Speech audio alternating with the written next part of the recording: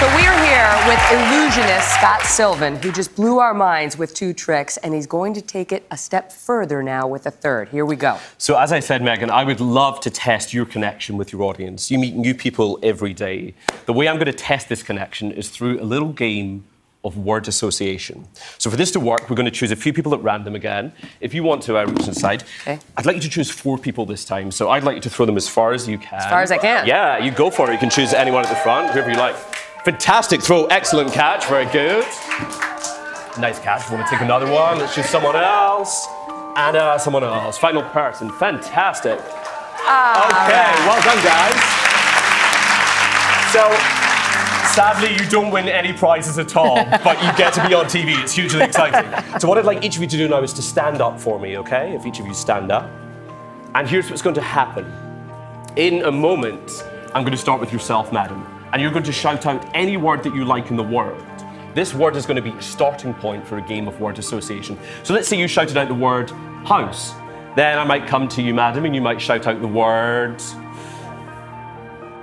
Door, yes, and then you might shout out the word. Window, and then you might shout out the word. Puppy, and then we'd come to Megyn and you'd shout out the final word. So that's the game, okay? There's a sort of connection throughout the words. Here's what's going to happen I'm going to try and guess Megyn's word, the last word, from just hearing the first word in this game of word association. So, uh, madam, you're challenge. Gonna, you are going to be the first word. You're going to be the first word, and you circle through in your head right now. You choose any word that you like. What would you like the starting word to be? Sex. Sex. We like her so much. Excellent choice of words. Excellent choice. Okay. Um, okay. It's been a pleasure performing for you all. Thank you very much. Um, okay, I'm good. I'm going to commit myself here. The first word is sex. Okay. Okay, I'm committed. I'm not going to show that to you right now to try and influence you. Okay, madam, we now come to you. What is the second word? Fun. Fun, of course, yes. And madam, what is the third word? Baby. Baby, of course, yes. We've got a full progression here. Barn. I'm not going to pry any further. Barn, my goodness. And finally, Megyn, what is the final word? In my head right now? Yeah, you say it aloud, yeah. Tired. Tired. I was stuck wow. on number one and number two. So we had three. sex, fun, baby, tired, uh, born, and then tired. That is a story I don't want to know anything about.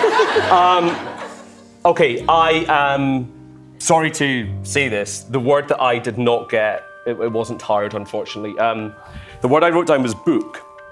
Um, but let's give our four participants a round of applause. Well done, anyway. That's okay. um, but look,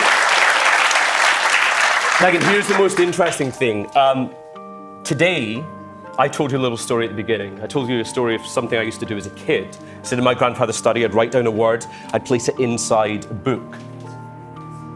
I've got a book sitting right here. And I wrote down one word earlier on today. I'd like you to come over and see it. You can see right here, inside that book, I placed one word. Would you take it out? What is the word that I wrote down?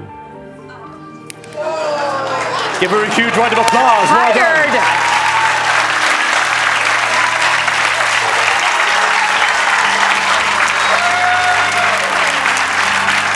WTH. That's amazing. Thank you so much. Scott, thank you. Pleasure to meet you. That was magical. Everybody. Spectacular. Hello, Today fans. Thanks for checking out our YouTube channel. Subscribe by clicking that button down there and click on any of the videos over here to watch the latest interviews, show highlights, and digital exclusives.